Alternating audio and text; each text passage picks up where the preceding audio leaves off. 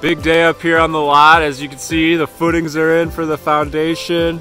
It's that first step that has to happen before the blocks are gonna get laid for the crawl space. Hopefully that'll happen within the next couple days. It's starting to get cold up here. The leaves are almost all gone. They were beautiful just yesterday. Now they're almost all falling to the ground today. So definitely getting cold, trying to get trying to get this thing in before winter.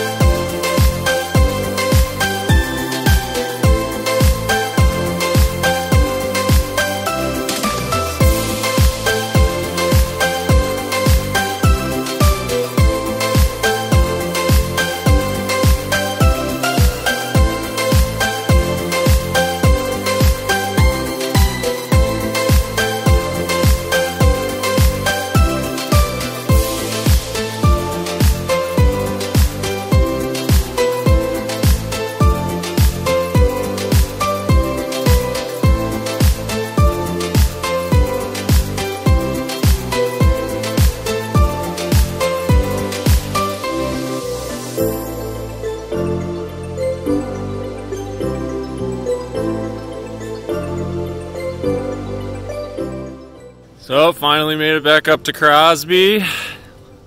Got a couple nice days here. I'm gonna try to seal this thing up, but the crawl space looks like she's done. Looks pretty good.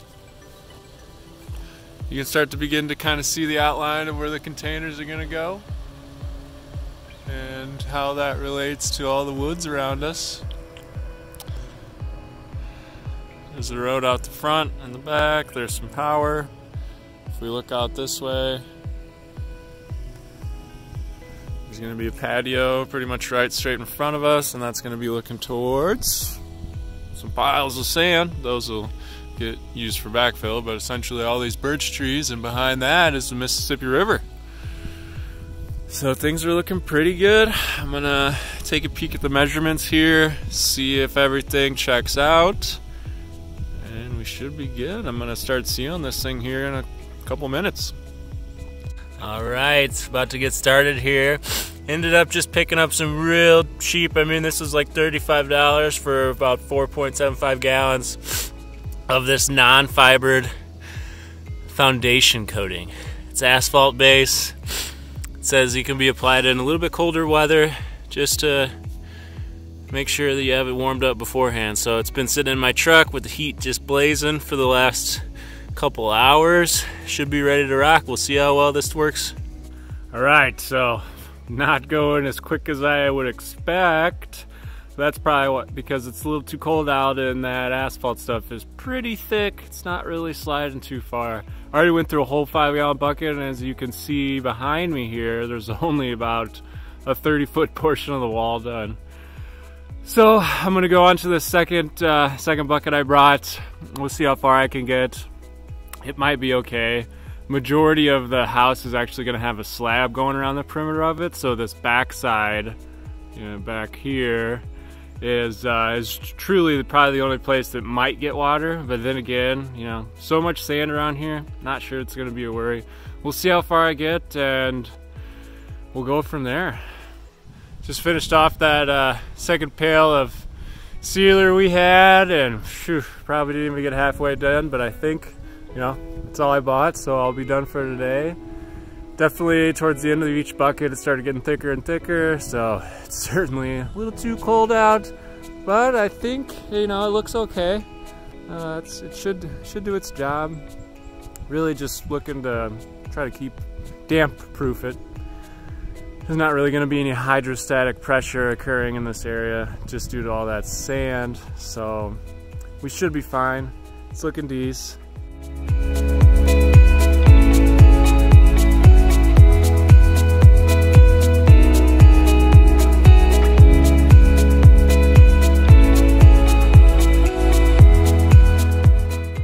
Here's the other side. You can really, maybe you can really see how thick it was getting here towards the end, just kind of dripping off there. For the most part, I said whatever. I just tried to keep that top block nice and uh, smooth, so I went over that a lot with the brush so there weren't any drips. And it looks pretty good. Hopefully it'll dry and within the next couple days I'll be able to come through and start to backfill with some sand. Got a lot of got a lot of backfilling to do here. Day two. Made it back up to the lot, probably around 1.30 today. It was about 50 degrees, still pretty nice out, and finished it up. Woo! Should be good.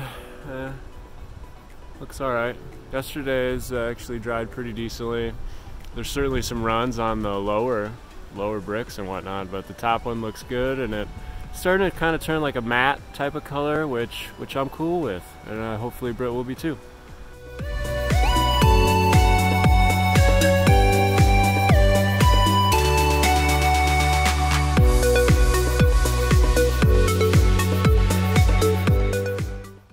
Foundation's looking pretty great. Kind of focusing here on these corner pieces. Ended up going with a steel embed plate here on the corners for where the container corners will sit. I've got them notched in about half an inch below the the top of this bond beam here and the hopes that once we set the containers down it'll be it'll be nearly flush those corners on the shipping containers do hang down a little bit a little bit over a half an inch it's looking pretty good so we got these uh, in all all corners here there's two for the 20 foot another couple up there and then obviously the 40 footers down there on the other end Gonna pick up a last couple tools, get cleaned up here, and then head south. Got a lot of work to do on the containers. It's supposed to be beautiful this weekend. Hopefully that's gonna give this behind me decent time to cure and uh, dry out. So I'm looking to backfill probably on Tuesday or Wednesday of next week. So about three or four days, that should be good enough. And the forecast has rain right after that, so that'll be great to compact the sand once I start to backfill. So we've been showing you guys a ton of progress that's been being made on the containers, but what we haven't been showing you is how much driving we've been doing the past few months. I think in this last week alone, I put 14 hours, no, I put 12 hours on the road and Austin put I think 14, and that's literally seven days. Again, that's because the containers are three hours south of where we live in Minneapolis, and then our lot is two hours north. So there's five hours in between them, and there's just been a ton of back and forth lately. How do you feel about that? Angry. yeah, it's been uh, energy draining to say the least, but hopefully we'll be getting these things moved within the next few weeks and then we'll at least only have a two hour um, distance between us and the containers. So yeah, it's literally been up to Minneapolis, back to Iowa, up to Minneapolis, to the lot, to Minneapolis, to the lot, to Minneapolis, back to Iowa right here. All I can say is thank goodness that we're both able to work remotely. We've had a turn of events here in Iowa. It's the beginning of November, and three days ago, I was out here for three hours and I couldn't feel my toes. And now it's almost 70, which means I get to give the rust removal another go because it's warm enough to be able to spray paint.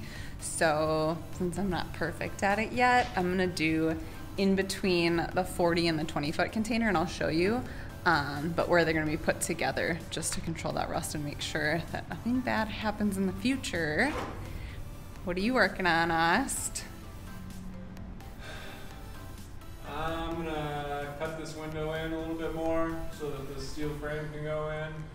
Just needs a little bit shaved off here on the left. We'll get that frame put up in there, weld that baby in, and then I'm gonna cut in the bathroom window. Here is what I'm talking about and what I'm going to be working on. So this blue container is the 40 foot container and you can see where there's going to be a bathroom door cut out and then it's marked down there where there's going to be a door into a storage area.